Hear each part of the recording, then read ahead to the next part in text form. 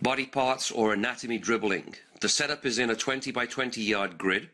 The premise of this drill is to keep young players aged 5 through 8 dribbling and following instructions from a coach.